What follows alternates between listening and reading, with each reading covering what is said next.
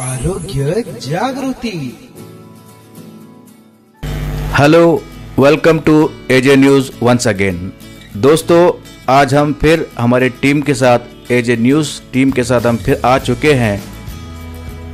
किरण neuropsychiatrist clinic जो पुंडलिक नगर area में स्थित है औरंगाबाद। आज हम जानते हैं डॉक्टर किरण बोड़के सर से कि डिप्रेशन और एंजाइटी क्या होती है। आज समाज में काफ़ी सारे लोग, खास करके यूथ जो है, डिप्रेशन और एंजाइटी से पीड़ित है। इसका क्या कारण है, किस तरह से उसे ट्रीट किया जाता है, हम बोड़के सर से इस पर चर्चा करते हैं। साइकेट्रिस्ट जो है, उनके पास सिर्फ़ डिप्रेशन एंजाइटी या फिर जिनको मानसिक बीमारियाँ है या पागल लोग ही आते हैं, ये बहुत बड़ा गैर समझ है। काफ़ी सारे तरह के पेशेंट्स हम देखते हैं। डिप्रेशन और एंजाइटी उसमें सबसे कॉमन है, ये तो सही बात है। इसके अलावा जिनको आदतें होती है, व्यसन होता है, वो व्यसन छुड़ाने के लिए भी हम लोग उनको हेल्प करते हैं। स्ट्रेस मैनेजमेंट का काम हम लोग करते हैं। तान तनाव अभी जो लाइफ की वजह से स्ट्रेस बढ़ रहा है, उसके कम करने में हम लोग उनकी हेल्प करते हैं। स्लीप डिसऑर्डर जिन्हें होते हैं, सिर्फ़ नींद की समस्या होती है। उनकी नींद की समस्या कम करने में हम उनकी हेल्प करते हैं। ब्रेन के कुछ प्रॉब्लम जैसे डिमेंशिया हो गए इपिलेप्सी फिट हो गया उसकी भी ट्रीटमेंट हम लोग करते हैं। सेक्सुअल प्रॉब्लम ये भी काफ़ी बड़ी समस्या है यूथ में या फिर बाकी सेक्स के जिनको भी प्रॉब्लम होते हैं, उनकी ट्रीटमेंट साइकेट्रिस्ट के पास होती है। इसके अलावा छोटे छोटे बच्चों में जो अति चंचलता हाइपर एक्टिविटी वगैरह होती है, उसकी ट्रीटमेंट भी साइकेट्रिस्ट के पास होती है। तो कई सारे सेगमेंट्स में हमें काम करना पड़ता है। और जैसे आप पूछ रहे थे कि डिप्रेशन और एंगजाइटी है उसमें से सबसे कॉमन बीमारियाँ है। ऐसे कहा जाए तो हर चार में से एक को मानसिक बीमारी है। हम अगर चार लोग बैठे हैं यहाँ पे तो किसी एक को कभी ना कभी लाइफ टाइम में उसके डिप्रेशन या एंगजाइटी या दूसरी किसी मानसिक बीमारी से गुजरना पड़ सकता है। तो इसका प्रमाण काफ़ी है। डब्ल्यू एच ओ के अनुसार तो अभी करीब करीब दो नंबर की ये बीमारी है, मानसिक बीमारी या डिप्रेशन, एंगजाइटी, जो कुछ दिनों में हार्ट डिसीज को ओवरकम करके एक नंबर की भी बन सकती है। तो ऐसा उसका इंसिडेंस प्रमाण काफ़ी है अभी फ़िलहाल। सर आज हम जानते हैं कि एंजाइटी और डिप्रेशन क्या होती है इसलिए कि काफ़ी यूथ जो है इस मानसिक बीमारी से पीड़ित है। सो so, सबसे पहले ये बताइए आप कि डिप्रेशन ये बीमारी क्या होती है? डिप्रेशन जिसे नैराश्य कहते हैं वो एक मानसिक बीमारी है। डिप्रेशन जो है, उसमें हमारे ब्रेन में जो कुछ न्यूरोकेमिकल्स होते हैं, उसकी लेवल कम हो जाती है। उस, वो लेवल कम हो जाने की वजह से डिप्रेशन के जो अलग अलग सिम्टम्स है, लक्षण है, वो हमें महसूस होने लगते हैं, जिसमें हमेशा कंटिन्यू उदास रहना, किसी चीज़ में मन नहीं लगना, किसी भी चीज़ में खुशी नहीं लगना कॉन्फिडेंस कम हो जाना, किसी चीज़ में ध्यान नहीं लगना, रोना आना, भूख कम होना, या फिर कभी कई बार बढ़ना, नींद कम हो जाना, या फिर कुछ बार बढ़ना किसी पहले जो एक्टिविटीज़ अच्छी लगती थी, उस किसी भी एक्टिविटीज़ में मन नहीं लगना।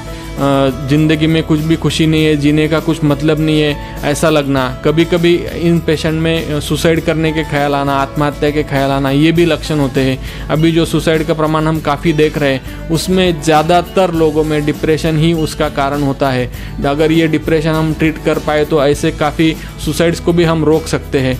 तो ये जो मैंने बताया, ये कॉमन डिप्रेशन के फ़िज़िकल मेंटल या मानसिक सिम्टम्स होते हैं। डिप्रेशन में कुछ फ़िज़िकल सिम्टम्स भी होते हैं। नींद खाने पे असर होना या फिर बदन दर्द करना। स्त्रियों में वो काफ़ी बार दर्द के रूप से दिखाई देता है कि पीठ दुख रही है, सिर दुख रहा है, बदन दुख रहा है अलग अलग कुछ भी लक्षण आ रहे हैं, पर जिस काफ़ी जाँच करके भी जिसका रिपोर्ट नॉर्मल आ रहा है। उसके लिए कुछ कारण नहीं समझ में आ रहा है। वो भी डिप्रेशन की वजह से हो सकता है। जैसा आप बोल रहे थे डिप्रेशन का यूथ में काफ़ी बढ़ रहा है तो उसके कई कारण हैं। डिप्रेशन के कारण अनेक हो सकते हैं जिसमें स्ट्रेस ये भी एक रीज़न हो सकता है। स्ट्रेस रिलेटेड जो डिप्रेशन होता है, उसमें कई अगर ज़िंदगी में कुछ मुश्किल दौर से कोई गुजर रहा है तो उसको उस समय डिप्रेशन आने के चांसेस होते हैं। ये एक चीज़ हो गई। और दूसरा जो एक एंडोजिनस डिप्रेशन होता है, उसमें किसी इंसान का सब सही चल रहा है, फिर भी उसे डिप्रेशन आ सकता है। तो उसकी भी अगर हम ट्रीटमेंट अगर अच्छे से करें तो वो उसमें से अच्छे से बाहर आके फाइट करके अच्छी ज़िंदगी,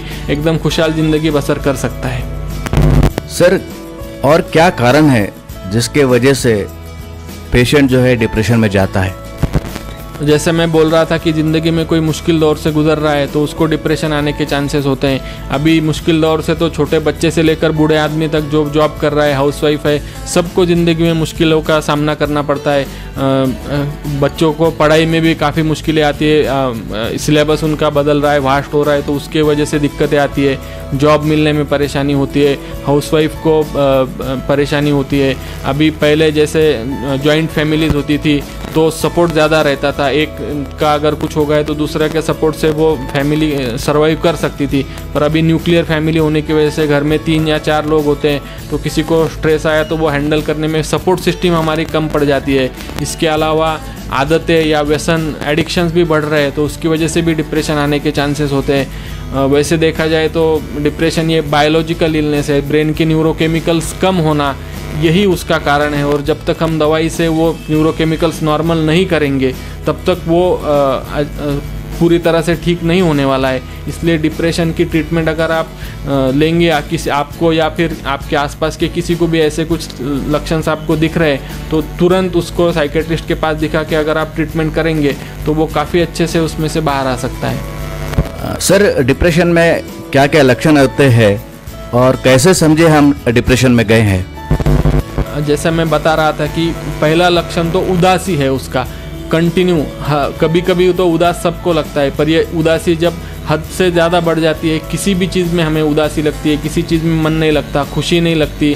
पहले हम जो चीज़ें बहुत हंस खेल के करते थे, टीवी देखना, बातें करना, खेलना, कूदना, घूमना, उस किसी चीज़ में अब पहले जैसा इंटरेस्ट बिल्कुल नहीं लगता कॉन्फिडेंस कम हो गया, ऐसा लगता है, कुछ भी मैं कर नहीं पाऊँगा, मेरे भविष्य में अंधियारा छा गया है, मेरे से कुछ नहीं हो पाएगा, ऐसा लगने लगता है, मैं अकेला पड़ गया हूँ, मेरी मदद करने वाला कोई नहीं है, ऐसा लगता है। फिर कभी कभी ये बढ़ गया तो फिर मेरी ज़िंदगी में क्या मतलब है, मैं क्यों जीऊँ, ऐसा लगने लगता है। फिर वो आत्महत्या के ख्याल आने लगते हैं या फिर वैसी कोशिश करने लगता है। तो ये बहुत कॉमन सिम्टम्स है डिप्रेशन के। अगर आपके आसपास में कोई आपके फैमिली मेंबर में या फिर काम करने वाले साथ में कलीग्स में आपको ऐसे लक्षण दिखे कि पहले से उसका स्वभाव बदल गया है उदास रहने लगना है छोटी छोटी बातों पे नाराज़ हो जाता है रोने लगता है कॉन्फिडेंस नहीं ऐसा लग रहा है मेरे से नहीं हो पाएगा ऐसा बोल रहा है। तो ये सिर्फ़ उसको नहीं नहीं ये छोड़ दो ये ऐसा नहीं होता हो जाएगा या फिर सिर्फ़ उसको तसल्ली दे के ये नहीं होने वाला है आपको प्रॉपर ट्रीटमेंट लेंगे आप तो एक ज़िंदगी आप बेहतर कर सकते हैं इस पर आपको ध्यान देना चाहिए।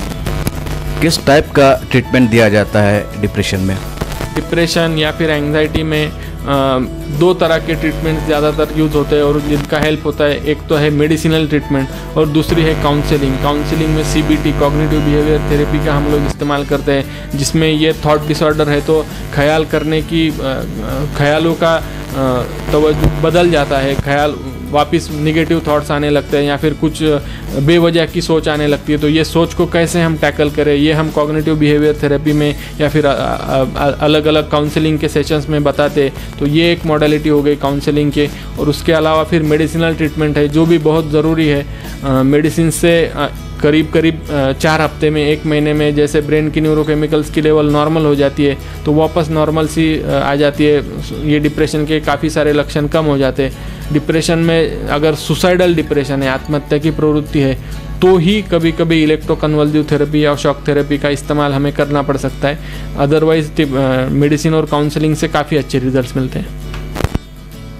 अब तक हम डिप्रेशन के बारे में पूछ रहे थे। अब हम आते हैं एंग्जाइटी पर। एंग्जाइटी क्या होती है सर एंग्जाइटी में हम कॉमन लैंग्वेज में कहेंगे तो चिंता रोग बोलते हैं इसे। चिंता होना अच्छी बात है, अगर हमें चिंता ही नहीं रही तो हम मोटिवेट नहीं होंगे, कुछ नहीं कर पाएँगे। पर जब ये चिंता, बेवजह की चिंता, अनाठाई चिंता का रूप ले लेती है तो उसे हम बीमारी कहते हैं इलनेस कहते हैं एंग्जाइटी डिसऑर्डर हम उसे बोल सकते हैं। उसमें काफ़ी तरह की आते हैं जैसे कि पैनिक डिसऑर्डर के पेशेंट होते हैं, जिनको बेवजह में सीने में धड़धड़, बेचैनी, घबराहट महसूस होना, दर्द होना सांस लेने में मुश्किल होना, ऐसा होने लगता है। तो उनको जब ऐसा हो तो उनको लगता है कि नहीं नहीं, मुझे अटैक आ रहा है, मैं मर जाऊँगा। फिर वो तुरंत डॉक्टर के पास भागते हैं आईसीयू में एडमिट होते हैं पर सब टेस्ट नॉर्मल आती है। ये चिंता रोग में का एक पैनिक डिसऑर्डर का लक्षण है, जिसे हम अगर उसके लिए प्रॉपर ट्रीटमेंट करेंगे तो ये सब उनके लक्षण कम हो जाते हैं। और इसके अलावा ओसीडी भी एक पार्ट है जो एंग्जाइटी डिसऑर्डर में ही आता है। उसमें बार बार एक ही सोच आती है, ख्याल आता है। वो सोच की वजह से कोई एक्शन हम रिपीट करने लगते हैं बार बार हाथ धोते हैं बार बार लॉक चेक करते एक की हुई एक्शन बार बार करते तो उसमें ये भी ओसीडी भी एंग्जाइटी में ही आने वाला लक्षण है। तो उसकी भी अगर हम ट्रीटमेंट करें तो ये सब बार बार करना कम हो जाता है। एक होता है जनरलाइज एंग्जाइटी डिसऑर्डर जिसमें हर छोटी छोटी बात की यहाँ से वहाँ जाना है रूटीन डे डे का रूटीन कोई काम करना है इस छोटी छोटी हर चीज़ की हमें आ, चिंता लगती रहती है कि ये मेरे से हो पाएगा या नहीं हो पाएगा कैसा होगा क्या होगा। तो ये एक जनरलाइज छोटी छोटी बात का एंग्जाइटी हो गया। फोबिया जो आता है एंगजाइटी के साथ साथ वो सबसे कॉमन है क्योंकि पाल का फोबिया या फिर ऊँची जगह पर फोबिया बंद जगह का फोबिया ये काफ़ी सारे लोगों को होते हैं। जो चीज़ों से हमें काफ़ी तकलीफ़ ज़्यादा तकलीफ़ नहीं होती, वो अवॉइड करके हमारी ज़िंदगी चलती रहती है। पर जैसे सोशल फोबिया हो गया, जिसे सोशल सिचुएशन फेस करना है लेक्चर देना है सेमिनार लेना है किसी सीनियर से भी बात करना है इंटरव्यू देना है, अगर वहाँ पर भी बेचैनी होने लगे तो वो फोबिया के लक्षण होते हैं। तो उसके लाइफ उसकी वजह से लाइफ में काफ़ी अड़चने आती है। अगर उसके लिए भी हम ट्रीटमेंट करेंगे तो काफ़ी अच्छे से हम इससे बाहर आ सकते हैं। काउंसलिंग थेरेपी और मेडिकेशन ये कितना इम्पोर्टेंट प्ले करती है ये रोल एंग्जाइटी और डिप्रेशन ये ऐसी बीमारियाँ हैं जो बहुत अच्छे से क्लियर हो जाती हैं, अच्छी हो जाती है और उससे अच्छी तरह से हम बाहर आ सकते हैं। मेडिसिन और काउंसलिंग ये दोनों का अगर हम सही इस्तेमाल करें तो 100 परसेंट रिज़ल्ट मिल सकते हैं। बहुत रेयर केसेस है कॉम्प्लिकेटेड केसेस होते हैं जिनमें रिज़ल्ट नहीं मिलते। और ये बीमारियों में बहुत हद तक, बहुत पेशेंट में गोली कुछ रेगुलर लेने के बाद कुछ अरसे बाद कम कम होके बंद भी हो सकती है डिप्रेशन और एंगजाइटी की बीमारी में। कुछ रेयर बीमारियाँ सिजोफ्रेनिया बाइपोलर डिसऑर्डर ऐसी कुछ बीमारियाँ होती है जिनमें काफ़ी दिनों तक मे बी सालों तक एक हाथ दूसरी गोली लेनी पड़ती है, पर वो कम पेशेंट्स में होती है और डिप्रेशन और एंग्जाइटी ज़्यादा उसका प्रमाण है इंसिडेंस है तो उसमें मेडिसिन और काउंसलिंग से आप बहुत अच्छे हो जाएँगे और कुछ दिनों में आपकी गोली बंद होने के भी चांसेस होते हैं। सर, अक्सर देखा गया है, कुछ पेशेंट्स का यह कहना है कि जो डिप्रेशन और एंग्जाइटी के जो ट्रीटमेंट दी जाती है या टैबलेट्स दिए जाते हैं तो काफ़ी घातक हो सकते हैं और उससे काफ़ी नींद आती है। ये एक बहुत बड़ा मिसकंसेप्शन है गैर समझ है, ऐसा नहीं है। कुछ 20-25 साल पहले जब को बहुत कम दवाइयाँ अवेलेबल थी तब में भी ऐसा हो सकता है, पर अभी सबसे ज़्यादा रिसर्च साइकेट्री में हो रहा है और नई नई हर दिनों दिन नई नई अच्छी अच्छी गोलियाँ आ रही है, जिससे जिसको पेशेंट को नींद आती है अच्छे से, उसको बिल्कुल नींद की गोली नहीं दी जाती। काफ़ी बार डिप्रेशन के शुरुआत शुरुआत के फ़ेज़ में जब नींद नहीं आती है अच्छी, तब ही नींद को मदद करने वाली गोली की हम हेल्प लेते हैं। उसके बाद वो गोली बंद हो जाती है। बहुत कम एक दो तीन टैबलेट्स पर भी अच्छे रिज़ल्ट मिलते हैं। उसके मिनिमम साइड इफ़ेक्ट्स होते हैं नई दवाइयों के, और उससे उससे जैसे मैं बता रहा था कि वो कुछ हद तक धीरे धीरे डोज कम करके बंद भी हो सकती है। ये मिसकंसेप्शन हमें अपने दिमाग से निकाल देना चाहिए और अच्छी तरह से मेडिसिनल ट्रीटमेंट डिप्रेशन की करनी चाहिए। सर, एक आखिरी सवाल। जो यूथ डिप्रेशन और एंग्जाइटी में जाते हैं तो सुसाइडल अटेंड करते हैं तो उन्हें आप क्या संदेश देना चाहेंगे कि किस तरह से आप डिप्रेशन और एंग्जाइटी से दूर रहे? ज़िंदगी हमें एक ही बार मिलती है तो उसे पूरे हमें जीना चाहिए। डिप्रेशन और एंगजाइटी ये बीमारियाँ हैं। जैसे शरीर की किसी भी बीमारी का हम इलाज करते हैं डॉक्टर के पास जाते हैं और अच्छे होते हैं, वैसे ये मानसिक बीमारियों के बारे में भी आप जानिए, समझिए। आज, अभी आजकल कोई ऐसा नहीं रहा। दीपिका पादुकोण ने बताया कि मुझे डिप्रेशन आया था, मैं इससे बाहर आई हूँ और वो खुद अभी इस फ़ील्ड में काम कर रही है। ऐसे कई सेलिब्रिटीज़ है या फिर बड़े बड़े लोग हैं जिन्होंने बताया कि हम इससे से अच्छे से बाहर आ सकते हैं। तो उन लोगों से प्रेरणा लेके हमें सोचना चाहिए कि छुपाने की बात नहीं है। जितना let's talk let's talk about depression let's talk about anxiety और इससे प्रोफेशनल लोगों की, हम जैसे साइकेट्रिस्ट काउंसलर उनकी हेल्प लेके आप 100 परसेंट इससे बाहर अच्छे से आ सकते हैं। आपकी दोस्तों की मदद लीजिए, ये छुपाने की बात नहीं है। सबसे शेयर कीजिए मदद लीजिए और इससे बाहर आके अच्छी, खुशहाल ज़िंदगी जिए। डॉक्टर बोड़के सर का हम एजे परिवार की तरफ़ से फिर से धन्यवाद करते हैं, जिन्होंने हमें कीमती वक्त दिया है। धन्यवाद।